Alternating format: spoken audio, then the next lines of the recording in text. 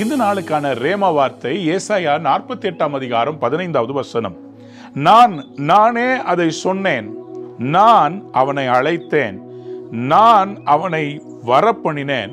அவன் வழி வாய்க்கும். போங்க உங்களுக்கு இன்னைக்கு வழி வாய்க்க போதுங்க. உங்களுக்கு எல்லாமே சக்ஸஸ்ஃபுல்லாக நடக்க போதுங்க.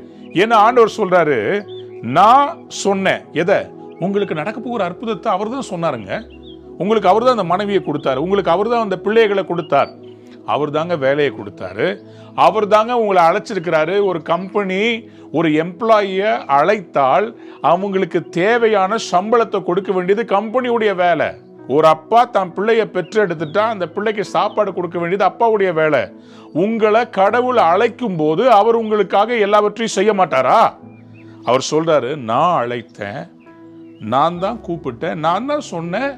நான் செஞ்சு முடிப்பேன். அவன் வழி வாய்க்கும் என்று சொல்லுகிறார். எனக்கு அன்பான எப்படி பிள்ளையே இன்றைக்கு தோல்வியில் துவண்டு கொண்டிருக்கிறீங்களா?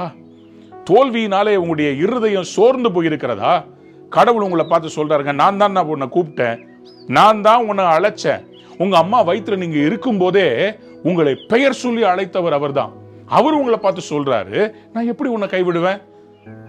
கடவுளுடைய வார்த்தை மாறவே மாறாது. சூரியனையும் சந்திரனையும் கரெக்டா டைமுக்கு வர வைக்கிறவர் கரெக்டான டைம்ல மழையை பெய்ய வைக்கிறவர் பூக்களை பூக்க வைக்கிறவர் பழங்களை தருகிறவர் வெயில் காலத்தில் தர்பூசணி பழத்தை கொடுக்கிறவர் எல்லாத்தையும் திட்டமிடுறவர். உங்களையும் ஆண்டவர் ஒரு திட்டத்தோட இந்த டைம் ஃப்ரேமில் பிறக்க வச்சு வளர்க்க வச்சு இன்னைக்கு உங்களை ஆளாக்கி உங்களுக்கு வெற்றியை கொடுக்காம இருப்பாரா? அவர் சொல்றார் நான் சொன்னேன் நான் அழைச்சேன். இந்த எல்லா ரெஸ்பான்சிபிலிட்டி என் மேலே அவன் வழி வாய்க்கும். நீங்கள் போகிற பாதை இன்னைக்கு ஜெயமாக முடியும்.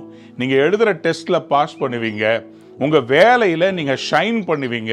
உங்கள் தொழிலில் கடவுள் உங்களை ஆசீர்வாதமாக வைக்க போகிறாரு உங்கள் வழி வாய்க்கும்.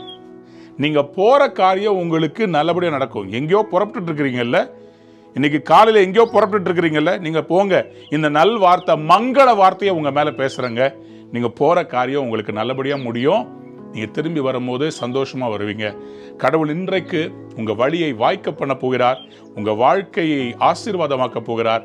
Have a wonderful day God bless you